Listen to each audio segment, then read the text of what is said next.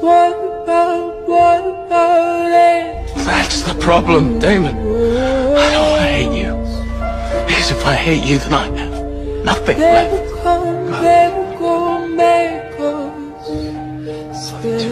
There were moments when all you had to do was be my father. I did everything.